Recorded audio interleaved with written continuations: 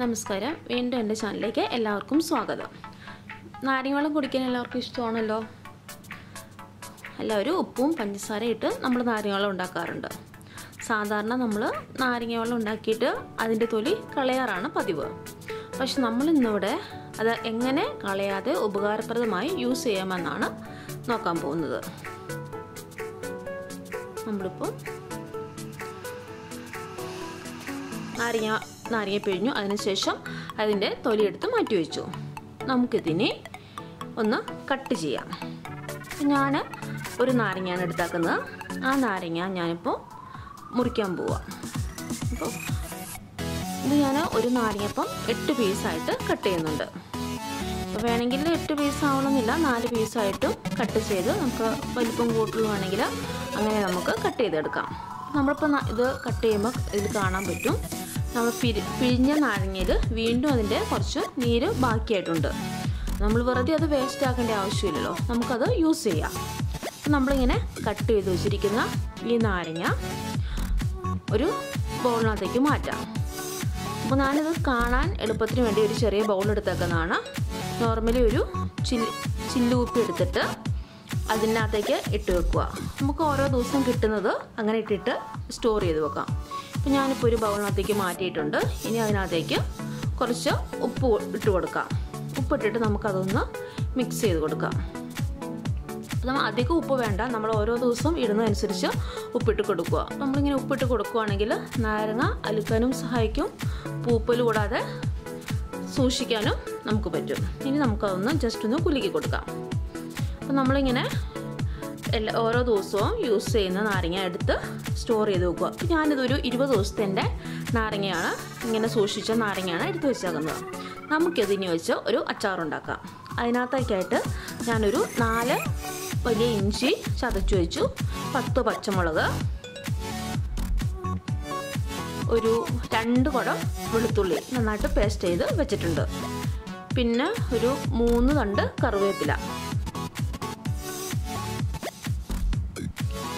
ഒരു നാല് സ്പൂൺ മുളക് പൊടി എടുത്തിട്ടുണ്ട്.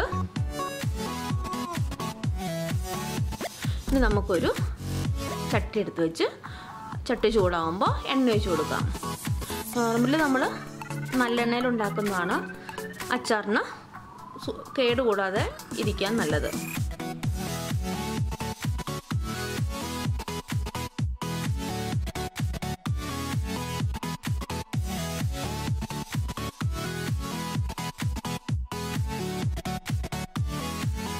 അപ്പോൾ നമ്മൾ എണ്ണ ചൂടാവുമ്പോൾ നമുക്ക് ചൂടാവുന്നുണ്ട് വരെ വെയിറ്റ് ചെയ്യാം. ഏകദേശം എണ്ണ ചൂടായി വരുന്നുണ്ട്.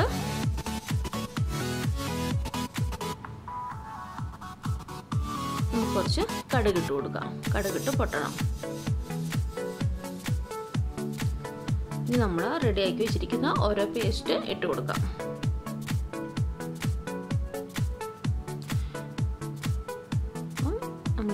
ഇഞ്ചി ചതച്ച് വെച്ചാക്കുന്നത് ഇട്ട് കൊടുക്കാം.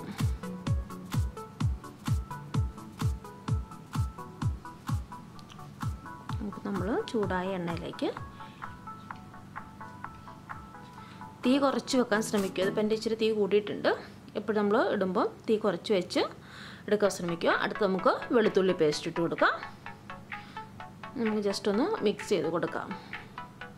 അല്ലെങ്കിൽ കരിയാൻ ചാൻസ് ഉണ്ട്. കാരണം പേസ്റ്റ് ആയതുകൊണ്ട്. ഇളക്കി കൊടുക്കാം. നമ്മൾ ഓരോന്ന് ഇടുമ്പോൾ ഇളക്കി കൊടുക്കുന്നതായിരിക്കും നല്ലത്. അപ്പം ഞാൻ വൈകിയത് കൊണ്ടാണ് കളർ മാറി തുടങ്ങിയിട്ടുണ്ട്. കുഴപ്പമൊന്നുമില്ല കരിഞ്ഞിട്ടൊന്നുമില്ല.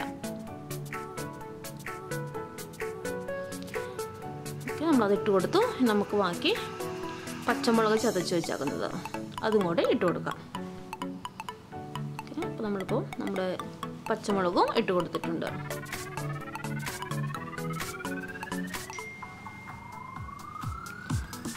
നമുക്ക് കറിവേപ്പില നമ്മൾ എടുത്ത് വെച്ചേക്കുന്ന മൂന്ന് തണ്ട് കറിവേപ്പില. അതും കൂടി ഇട്ട് കൊടുത്തു. ഇനി നമുക്ക് നന്നായിട്ടൊന്ന് മിക്സ് ചെയ്ത് കൊടുക്കാം. പിന്നെ ഇതെല്ലാം മൂത്ത് ഇതിന്റെ പച്ചമണം മാറി കിട്ടണം. എപ്പോഴും നമ്മൾ നന്നായിട്ട് മൂക്കാൻ ശ്രമിക്കുക അല്ലെങ്കിൽ നമ്മുടെ അച്ചാർ നാശമായി പോവും. അപ്പം ഇളക്കി കൊടുത്തോണ്ടേ ഇരിക്കുക അടിയിൽ പിടിക്കാണ്ട് ശ്രദ്ധിക്കുക. അപ്പം നമ്മൾ ഇളക്കുമ്പോൾ അടി ചേർത്ത് ഇളക്കി കൊടുക്കുക. മൂത്തിട്ടില്ല മൂത്ത് വരുന്നു ഇപ്പോൾ വേണമെങ്കിൽ ഇച്ചിരി ശകലം തീ ഒന്ന് കൂട്ടി കൊടുക്കുക ഒരുപാട് വേണ്ട മീഡിയം ഫ്ലെയിമിൽ ഇട്ട് കൊടുക്കുക.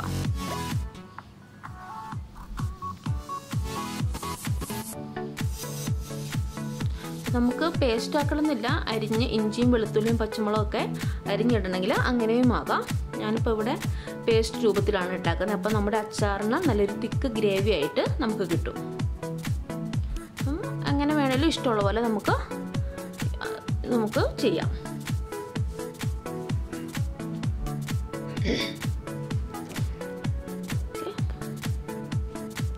ഇടയ്ക്കിടയ്ക്ക് ഇളക്കി കൊടുക്കുക അല്ലെങ്കിൽ അടിയിൽ പിടിക്കുക. അത് സൂക്ഷിക്കുക പ്രത്യേകം. അപ്പോൾ ഒരു ബ്രൗണിഷ് കളർ ആകുന്നോടം വരെ നമുക്കിത് എടുക്കണം. അപ്പോൾ ഏകദേശം ആയി വരുന്നുണ്ട്. നമ്മുടെ ബ്രൗൺ കളറായിട്ടുണ്ട് അത്രയും മൂക്കാവോ അത്രയും നല്ലത്.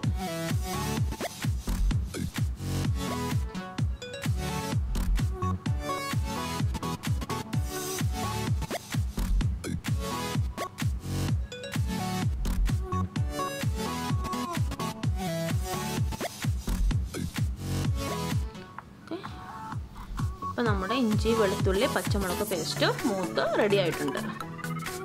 ഇനി നമുക്ക് ഇതിനകത്തേക്ക് മുളക് പൊടി ആഡ് ചെയ്ത് കൊടുക്കാം. ഞാനൊരു നാല് സ്പൂൺ മുളക് പൊടിയാണ് എടുത്താക്കുന്നത്. എരിവുള്ള നല്ല മുളക് പൊടി. അപ്പോൾ അധികം മുളക് പൊടിയുടെ ആവശ്യമില്ല കാരണം നമ്മൾ എരിവുള്ള പച്ചമുളക് ചതച്ച് ഓൾറെഡി ചേർത്തിട്ടുണ്ട്. ഇനി കുറച്ച് മഞ്ഞൾപ്പൊടിയും കൂടെ ഇട്ട് കൊടുക്കാം. നമുക്കിത് രണ്ടും കൂടെ നന്നായിട്ടൊന്ന് മിക്സ് ചെയ്യാം. നമ്മുടെ പൊടി മൂക്കുന്നോടം വരെ ഇളക്കി കൊടുക്കുക. അപ്പോൾ നമുക്ക് ഇട്ടാക്കുന്നത്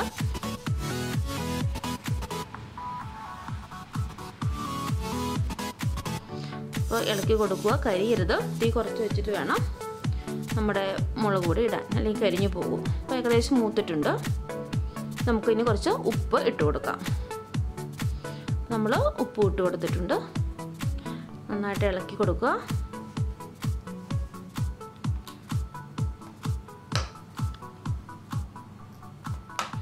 നമ്മുടെ പൊടിയെല്ലാം മൂത്ത് റെഡിയായി വരുന്നു.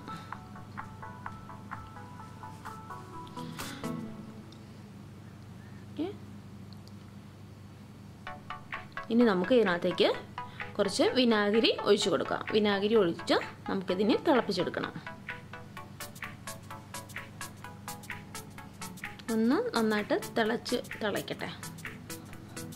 അപ്പോൾ കളർ ചേഞ്ചൊക്കെ വിനാഗിരി ഒഴിച്ചപ്പോൾ ഒരു കളർ ചേഞ്ചും വന്നിട്ടുണ്ട്.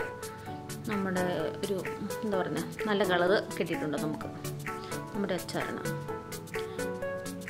ഓക്കെ ഒന്ന് നന്നായി തിളച്ച് വരുന്നു. ഇപ്പോഴും വിനാഗിരി വെച്ച് തിളച്ചിട്ട് നമ്മൾ നാരങ്ങിടുന്നതായിരിക്കും ഏറ്റവും നല്ലത്. ഞാൻ ഇതിനകത്ത് അച്ചാർ കൂടി ഒന്നും ചേർത്തിട്ടില്ല. ഇനി നമുക്ക് നമ്മൾ റെഡി ചെയ്ത് വെച്ചിരിക്കുന്ന നാരങ്ങ ഇട്ട് കൊടുക്കാം.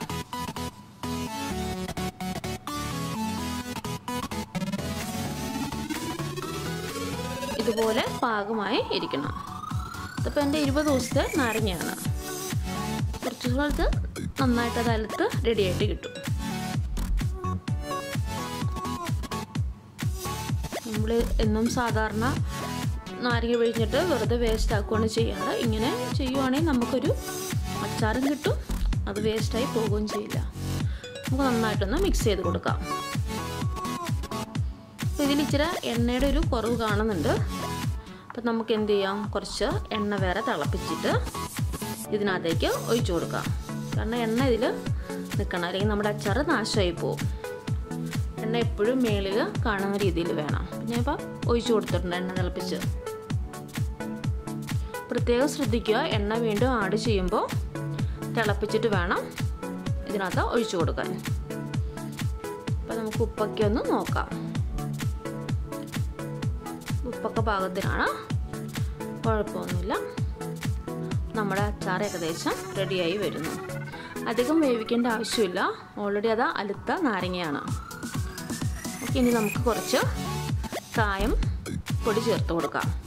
കാരണം നമ്മൾ ഇതിനകത്ത് വേറെ അച്ചാർ പൊടിയോ അങ്ങനത്തെ ഒരു സാധനവും ചേർക്കുന്നില്ല. ഇനി കായം ചേർത്തിട്ട് നന്നായിട്ടൊന്ന് മിക്സ് ചെയ്ത് കൊടുക്കുക. അധികം കായത്തിന്റെ ആവശ്യമില്ല. ഒരു അര സ്പൂൺ മതിയാവും. നമുക്ക് ടേസ്റ്റ് നോക്കാം. കുറവാണെന്ന് തോന്നുവാണെങ്കിൽ നമുക്ക് ആഡ് ചെയ്ത് കൊടുക്കാം. അധികം ആവശ്യമില്ല. ഓക്കെ നമ്മൾ നന്നായിട്ട് മിക്സ് ചെയ്ത് കൊടുത്തു. നമ്മുടെ അച്ചാർ ഏകദേശം റെഡി ആയിട്ടുണ്ട്.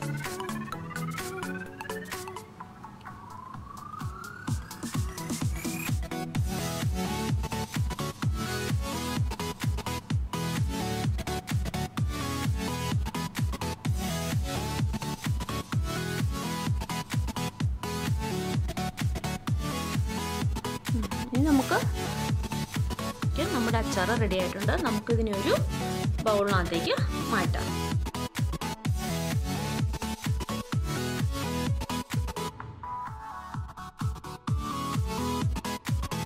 അത് ഇരുന്നിരുന്ന പാകമായിട്ട് നല്ല സ്വാദിഷ്ടമായ നാരങ്ങ അച്ചാറ് റെഡിയായി കിട്ടും നമുക്ക്.